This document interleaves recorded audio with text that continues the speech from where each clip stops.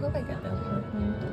The one that I'm gonna go after next. I'm really tired of watching and looking at new apartments.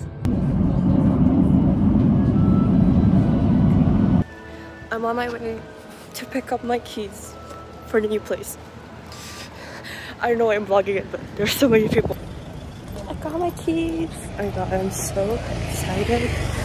Um, yes, I'm listening to Guts a lot. Because I have no guts to pick up my keys by myself. Here I am.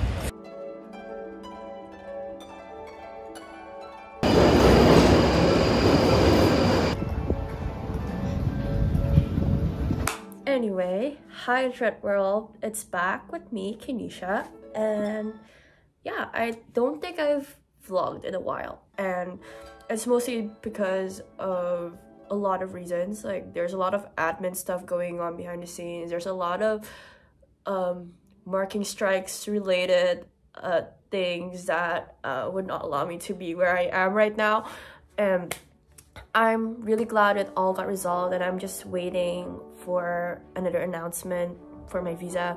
So I could go to my master's program. I'm not gonna lie, till this day, even I'm sitting in this apartment, um, I still can't believe that I am going to be living in London for the next year, going to a university in London to go do my postgraduate degree. Was I thinking about this a year ago? No. A year ago, I was like, I'm gonna work in London. Like, that is my goal. My goal is to work in London. The goal is to be a creative in London. Um, hopefully, in the very near future, I get to do what I love, which is creating videos or creating stories. And, you know, as long as I'm in a creative space and I get to grow as a creator and as a creative person, I think that's good enough for me right now. You know, as a 21 year old, turning 22, listening to Guts and Bewitched all the time, I think Olivia Rodrigo is going to announce her tour, U or her worldwide UK tour today. And I just got tickets to Laufey, sorry, the tube station before going to this place. And I don't know, like, I feel like I go to concerts too much. And it's a problem. Actually, no, um, I'm not going to concerts too much. I'm just watching my favorite artists going forward because um, I'm going to Gracie, Macy, and then Laufey. Hopefully I can get, I can score tickets to Olivia when this general sale is going on or the pre-sale, I don't know.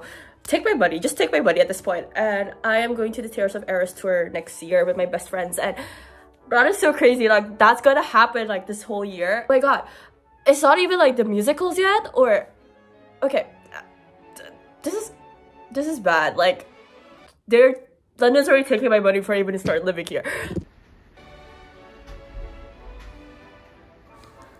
Reflecting back on my first month in London, I would consider myself pretty lucky because I've always wanted to live in London.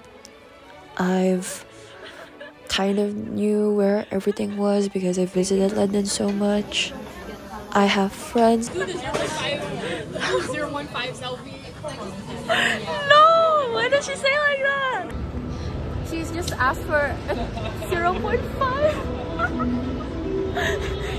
she doesn't even like me even having pictures. Who are considering living in London and we meet up to celebrate birthdays. I made friends on my course. I was getting to know my flatmate. My best friend is here as we're going to our postgraduate journeys. I was pretty lucky in that department because that would mean I have a solid friendship system, support system, and it was all fun. I get to go to galleries, I get to have good food. It was amazing. I have endless opportunity to be grateful about this experience.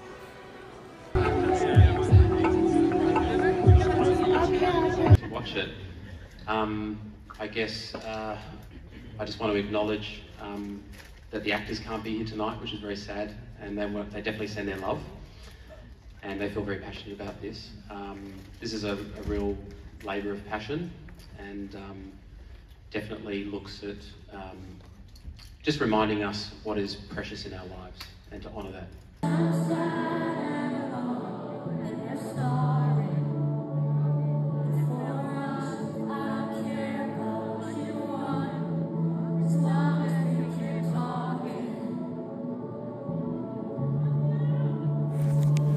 I promised myself when I managed to get into my master's program in London, I would get Gracie Abrams tickets.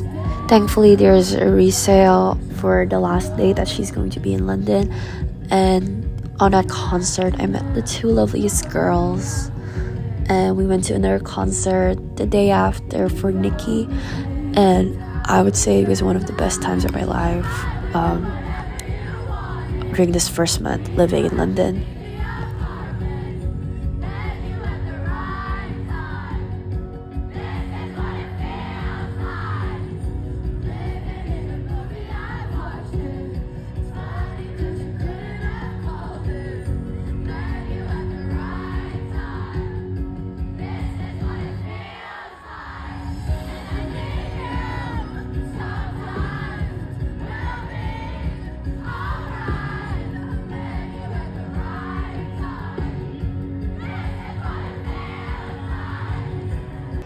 Do you know the phrase forgive and forget and just move on?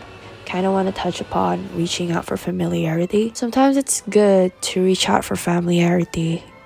It's safe, it's where your bubble is. But it also reminds you that sometimes reaching out for that familiarity, even though you've moved on and have done other things that will make you happy, sometimes it's fun. It's fine.